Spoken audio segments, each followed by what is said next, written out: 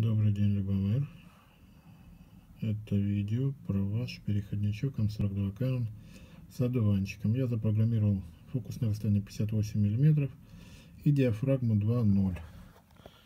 Сейчас я упакую ваш переходничок.